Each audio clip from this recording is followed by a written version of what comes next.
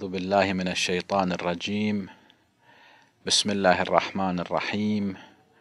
الحمد لله رب العالمين. والصلاة والسلام على سيدنا محمد وآله الطاهرين. ولعنة الله على أعدائهم أجمعين إلى يوم الدين. لا زال حديثنا في باب التفويض إلى رسول الله وإلى الأئمة في أمر الدين. الحديث الثامن من أحاديث هذا الباب. قال أبو عبد الله الإمام الصادق عليه الصلاة والسلام لا والله ما فوض الله إلى أحد من خلقه إلا إلى رسول الله صلى الله عليه وآله وإلى الأئمة عليهم السلام. قال الله عز وجل إنا أنزلنا إليك الكتاب بالحق لتحكم بين الناس بما أراك الله. وهي جارية في الأوصياء. ذكرنا فيما مضى أن للتفويض معاني متعددة. التفويض بمعنى الاستقلال كفر. لا أحد حتى الأنبياء لهم إرادة مستقلة عن إرادة الله ومشيئته سبحانه وتعالى. وأما التفويض بسائر المعاني بمعنى أن الله سبحانه وتعالى منحهم القدرة في التصرف في الكون. هذا أمر لا محذور فيه عقلا ولا ينافي التوحيد وثبت بالأدلة الصحيحة. فهذه معاجز الأنبياء من ولايتهم التكوينية. وكذلك الولاية التشريعية لرسول الله محمد صلى الله عليه وآله ثابتة بالأدلة القرآنية وبالسنة بمعنى أن الله سبحانه وتعالى أدب نبيه بآدابه اصطفاه عصمه علمه ففوض إليه تشريع بعض الأحكام. فالرسول لا يشرع إلا حكما يريده الله سبحانه وتعالى. وكذلك الله سبحانه وتعالى فوض إلى رسول الله وإلى الأئمة الحكم بمعنى القضاء وأنهم يتمكنون من القضاء بالواقع أو القضاء بظاهر الشرع. القضاء بالواقع بمعنى أنه يحكمون كحكم داود عليه الصلاة والسلام في قضية معروفة. حينما يأتي المتخاصمان الله سبحانه وتعالى يوحي إلى رسوله أو يلهم الأئمة عليهم الصلاة والسلام بأن الحق مع هذا فيحكم بعلمه الواقعي. هذه الصلاحية أعطاها الله سبحانه وتعالى للرسول وللأئمة. أو أن يحكموا بظاهر بظاهر الشرع. بمعنى أن الله سبحانه وتعالى شرع مجموعة موازين. مثلا البينة على المدعي واليمين على من أنكر. فإذا جاء متخاصمان أحدهما مدع والآخر منكر نقول للمدعي هات البينة. فإذا جاء بالبينة الشرع ظاهره هو أن يحكم بصالحه. فإن لم يكن للمدعي البينة نقول للمنكر أنت احلف بالله سبحانه وتعالى. فإذا حلف المنكر صدر الحكم بصالحه. هذا حكم جعله الله سبحانه وتعالى. فالله سبحانه وتعالى فوض إلى الرسول وإلى الأئمة أن يحكموا بعلمهم الواقعي أو يحكموا بالموازين الشرعية التي شرعها الله سبحانه وتعالى. طبعا حسب ما يظهر من سيرة الرسول صلى الله عليه وآله وأمير المؤمنين عليه السلام هو أنهما كانا يحكمان بظاهر الشرع ولكن الظاهر الذي يتطابق مع الواقع. يعني إذا المدعي صادق وله بينة فهنا الواقع مع المدعي والبينة معه فيحكم بصالحه.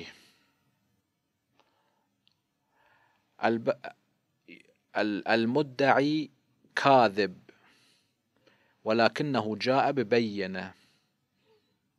هنا القضاة العاديين اللي ما عنده علم بالواقع يحكم بصالح المدعي. والله سبحانه وتعالى أعطى هذه الصلاحية لرسوله أن يحكم بصالح المدعي.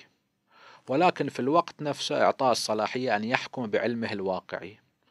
فالرسول صلى الله عليه وآله كان يستخرج الواقع. يعني شنو؟ يعني مثلا هو يعلم واقعا أن البينة كاذبان فهنا يستخرج الواقع بطريقة مثلا يفرق بينهما ويسألهما أسئلة يتبين كذبهما مثلا.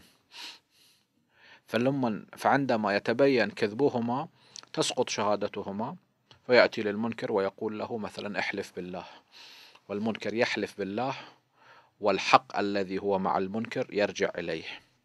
وهكذا في قضاء أمير المؤمنين. أحيانا نجد الفقهاء يذكرون أنه كان قضية في واقعة. القضية في واقعة يعني شنو؟ يعني أنت بالظاهر تشوف تتعجب من هذا الحكم. ولكن أمير المؤمنين عليه السلام استخرج الواقع لكن عبر الموازين الظاهرية. يعني مثلا جاء رجلان. كل واحد منهما يدعي أنه هو السيد والآخر عبده.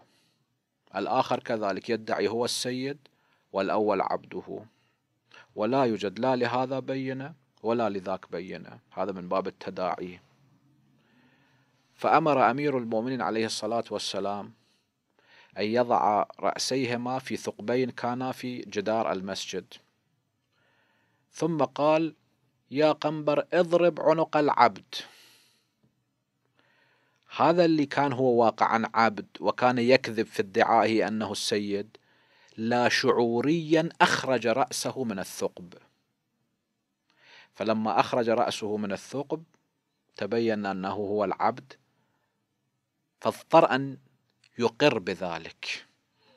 يعني أمير المؤمنين بهذه الطريقة استخرج الواقع. أو مثلا مرأتان ضرتان ولدتا في ساعة واحدة.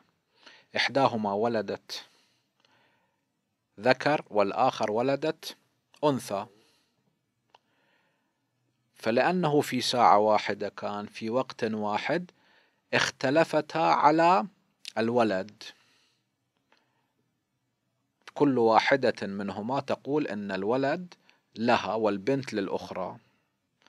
ومو معلوم لأنه في ساعة واحدة ولدتا وهما ضرتان في مكان واحد اختلط الأمر. فجاءوا إلى أمير المؤمنين عليه الصلاة والسلام ليحكم. فهنا أمير المؤمنين عليه الصلاة والسلام قال لهما ما معناه. نأتي بالمنشار وهذا الولد نقسم نصفين نصفه لهذه المرأة ونصفه لتلك المرأة.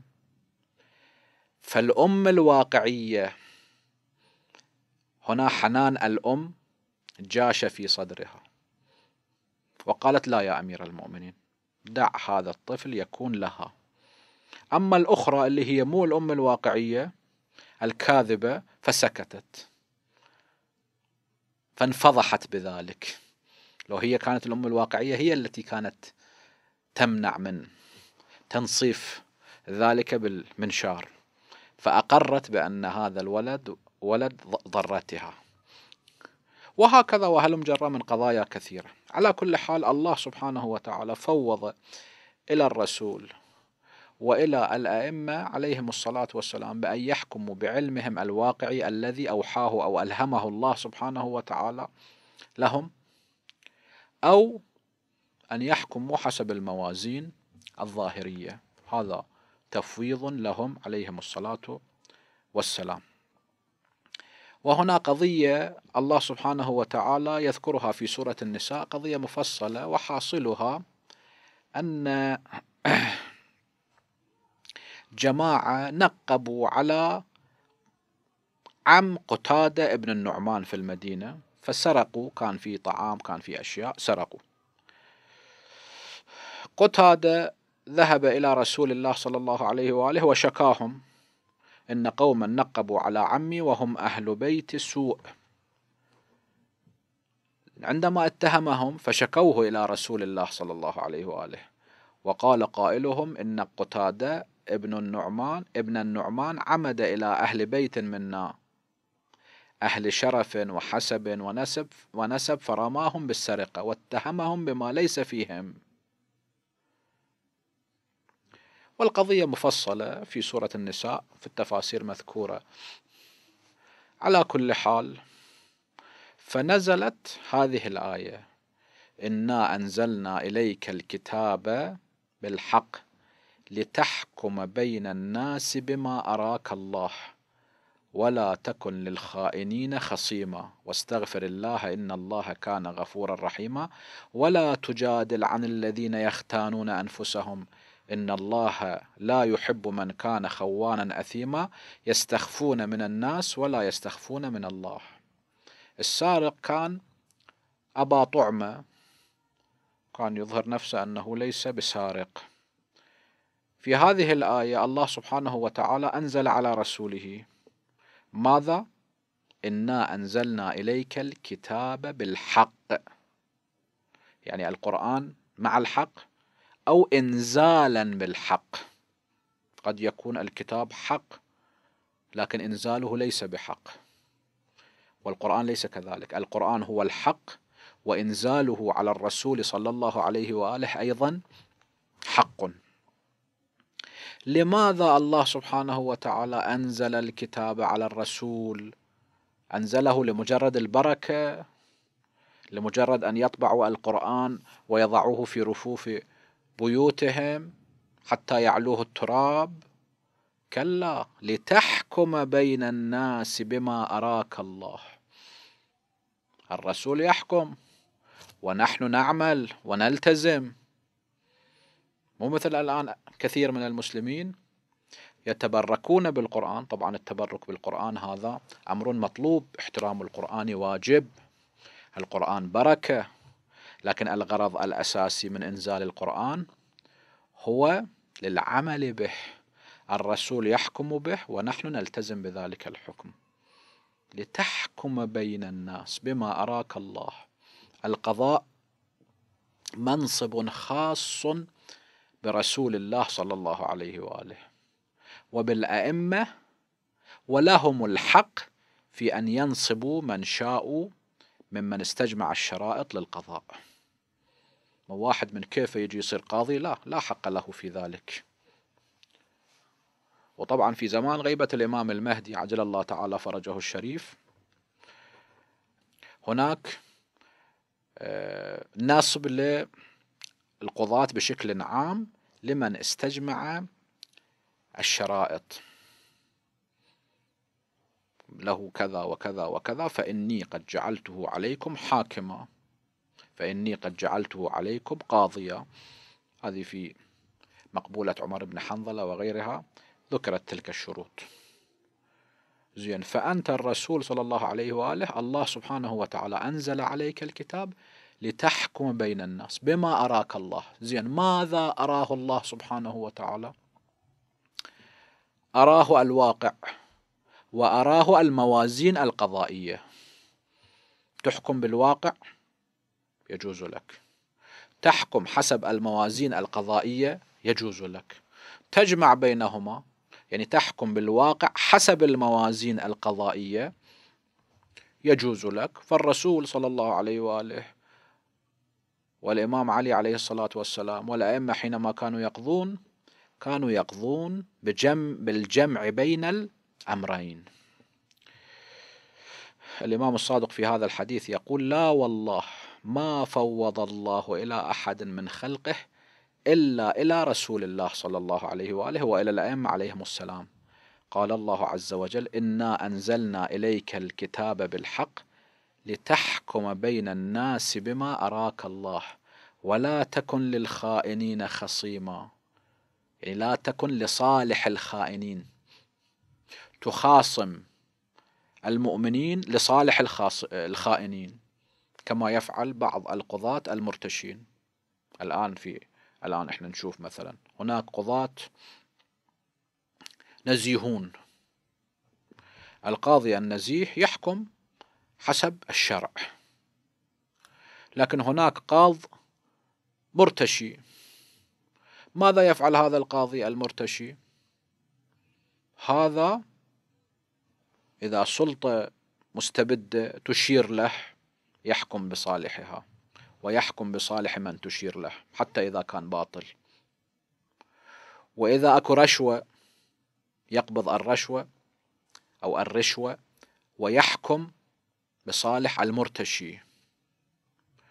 أو حالات نفسية ما يعجب هذا الشخص عدو معه عنده مشكلة وياه يحكم بضرره. وذاك صاحبة صديقة قريبة يعجبه أمره يحكم بصالحه. ولا تكن للخائنين خصيما. لا تدافع عن الخائن. هاي مسألة مهمة مثلا عندنا الآن. تنتشر مهنة المحاماة المحامي. تروح بالمحكمة تشوف المدعي له محامي والمنكر له محامي. إذا في تداعي هذا إلى محامي ذاك إلى محامي. وفي بعض الدول القانون لا يسمح إلا بوجود محام لكلا الطرفين. زين. أنت المحامي اللي أخذت قضية تريد تدافع عنها. لازم أنت تشوف هذه القضية قضية حق واللي أنت صاير محامي عنه هو المحق. مو مشكلة دافع عنه وأقبض أجور المحاماة. لا بأس بذلك. أنت تدافع عن حق تراه حقه. لكن أحيانا يشوف أن هذا صاحبه مبطل كلامه باطل بس لأن فلوس بيها يجي يدافع عن هذا المبطل ويحاول أنه يستعمل جميع الأساليب الملتوية وغير الملتوية أي مادة قانونية يريد يجيبها حتى يحكم القاضي بصالح موكله. هذا لا يجوز. إذا موكلك مبطل لا يجوز لك أن تدافع عنه وأنت تعلم بأنه مبطل. ولا تكن للخائنين خصيمة هذا خائن لو كان أمين ما كان يرفع دعوى ضد صاحب الحق. أو إذا صاحب الحق رفع دعوى عنه يستسلم للحق. الإنسان لازم يستسلم للحق. حتى لو كان مر. إذا ما يستسلم للحق فهو خائن لله ولرسوله. وللأمانة. فلذلك الإنسان أولا يشوف أنه إذا هو محق يرى نفسه محقا لا بأس يروح يشتكي. والمحامي إذا شاف هذا الشخص محق يدافع عنه. أما يشوفه مبطل لا يجوز له أن يدافع عنه. ما يدري أنه محق لو مبطل. هم ما يجوز له أن يدافع عنه. أنت شلون تدافع عن واحد؟ ما تدري أن هذا صاحب حق لو صاحب باطل. شلون ترفع قضية لا تعلم أنها قضية حق أو قضية باطل؟ زين هذه الآية عندما نزلت على رسول الله صلى الله عليه وآله. فضحت السارق أبو طعمة. السارق هم هرب راح إلى مكة وارتد. ارتدادا. بعد ذلك الإمام الصادق عليه الصلاة والسلام عندما تلا هذه الآية لتحكم بين الناس بما أراك الله يقول وهو جارية في الأوصياء يعني الله سبحانه وتعالى. هذه الصلاحية التي أعطاها لرسول الله صلى الله عليه وآله أعطاها للأئمة من بعد الرسول صلى الله عليه وآله منصب القضاء وأن يحكم بما ألهمهم الله أو حسب الموازين. الشرعية التي شرعها الله سبحانه وتعالى اللي هي موازين ظاهرية. زين يمكن واحد يجي يقول هنا الله سبحانه وتعالى يقول إن الحكم إلا لله. فكيف يكون التشريع للرسول صلى الله عليه وآله؟ نقول نعم الحكم خاص بالله سبحانه وتعالى. ما إلا حق واحد يحكم حكما خلاف إرادة الله. أو من غير إذن الله سبحانه وتعالى. ولكن الله سبحانه وتعالى الذي الحكم له لا لغيره فوض التشريع إلى رسوله. فقال ما آتاكم الرسول فخذوه. والرسول الحكم الذي يصدره هو حكم الله سبحانه وتعالى. فلذلك كانت إطاعة الرسول إطاعة الله. لماذا؟ لأن ما يقوله الرسول الله سبحانه وتعالى أمر بإطاعته. وما يقوله الرسول صحيح هو الذي يريده الله سبحانه وتعالى. فلذا علينا أن نطيع الرسول صلى الله عليه وآله ومن بعده الأئمة عليهم السلام. والحديث التاسع والحديث العاشر من أحاديث هذا الباب باب التفويض إلى رسول الله وإلى الأئمة في أمر الدين.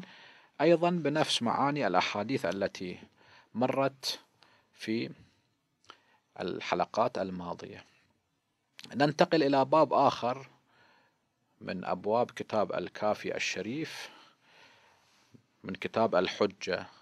باب في أن الأئمة عليهم السلام بمن يشبهون ممن مضى وكراهية القول فيهم بالنبوة.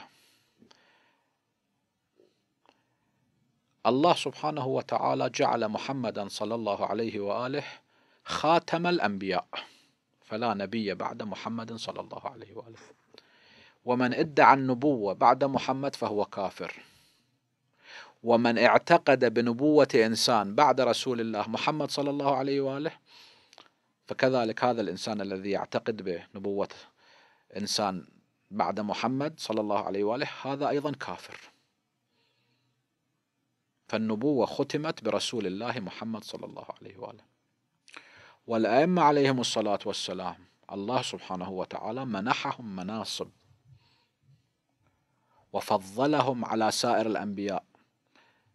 غير النبي محمد صلى الله عليه وآله فهو أفضل الأولين والآخرين. ولكن مع ذلك ليسوا أنبياء. الأئمة عليهم الصلاة والسلام أرادوا أن يذكروا أمثلة قرآنية حتى الناس يستوعبون. كثير من الناس لا يستوعبون. العقول أحيانا لا تتحمل بعض الحقائق. لكن إذا ذكرت لهم شبيها نظيرا يعتقدون به الأمر يسهل عليهم. أحيانا أنت تذكر مطلب الناس يستنكرون ذلك المطلب.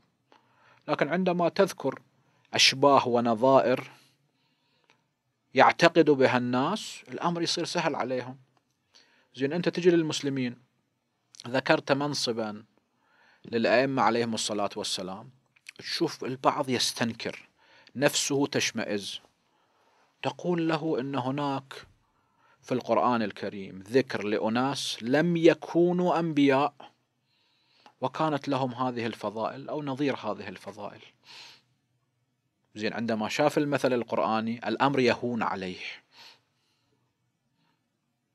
وليس المقصود القياس لأن هؤلاء الذين الأئمة شبهوا بهم أولئك فضلهم لا يصل إلى عشر معشار فضل الأئمة عليهم الصلاة والسلام. وإنما تذكر هذه الأمثلة لاستيناس الناس وزوال استيحاشهم. إحنا الآن أحيانا نذكر لبعض الناس بعض مقامات الأئمة. تشوف حالة من الرفض ترتسم على وجوههم. بس عندما تذكر المثل القرآني تشوف الأمر ينحل عندهم المشكلة تنحل عندهم. لأن القرآن المسلمون يسلمون له. طبعا أكو بعض الناس أيضا لا يسلمون للقرآن. لكن عامة المسلمين يسلمون للقرآن. فلذلك حينما تأتي وتشبههم بمن مضى ممن لم يكن نبيا وفي وجه الشبه الأمر يسهل عليهم.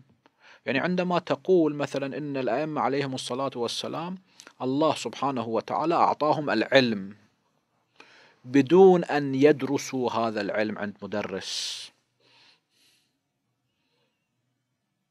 الرسول صلى الله عليه وآله هو المعلم لهم. حينما تقول هذا البعض يمكن يستنكر. بس تذكر أمثلة. مثلا حينما نذكر أمثلة قرآنية المسألة تكون واضحة. مثلا الخضر. الخضر لم يكن نبيا. طبعا المسلمون يعتقدون بأن خضر لا زال حيا. من زمان موسى لحد الآن. واحد يستغرب أنه يقبلون حياة الخضر أكثر من أربعة آلاف سنة وحينما تذكر لهم حياة آه، الإمام المهدي عجل الله تعالى فرجه الشريف ألف مثلا وثلاثمائة عام أو أقل يستغربون ذلك. القرآن يثبت أن نوح لبث فيهم ألف سنة إلا خمسين عاما. تسعمائة وخمسين سنة لبث في قومه. هسه بعد قومه كم سنة؟ الله العالم. لمن تذكر هذا المثال الأمر يهون. على كل حال.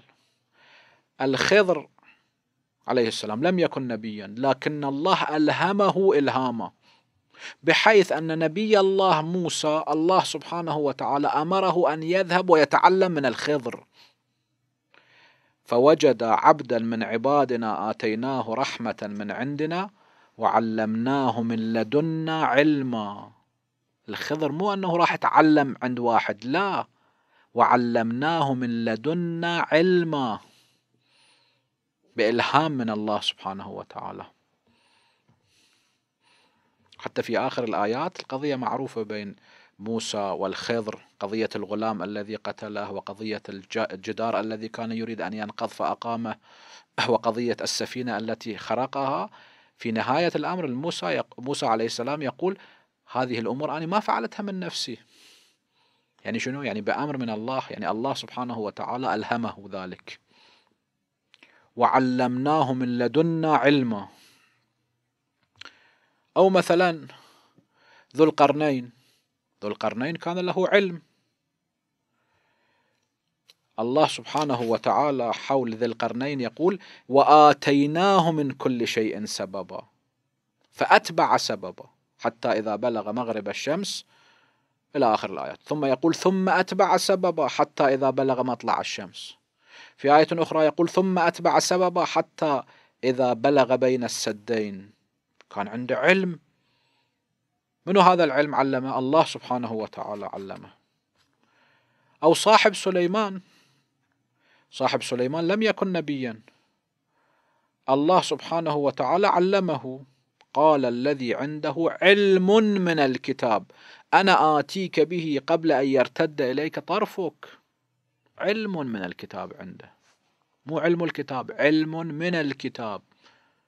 قبل أن يرتد طرف سليمان جاء بعرش بلقيس من اليمن إلى فلسطين يعني في أقل من ثانية. كيف؟ لأن الله سبحانه وتعالى علمه علما من الكتاب. ولم يكن نبيا. زين. ذو القرنين الله سبحانه وتعالى ألهمه الأسباب.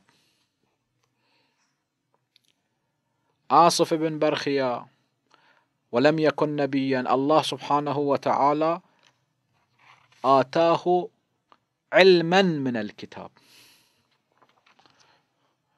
الخضر ولم يكن نبيا. الله سبحانه وتعالى علمناه من لدنا علما. الله علمه.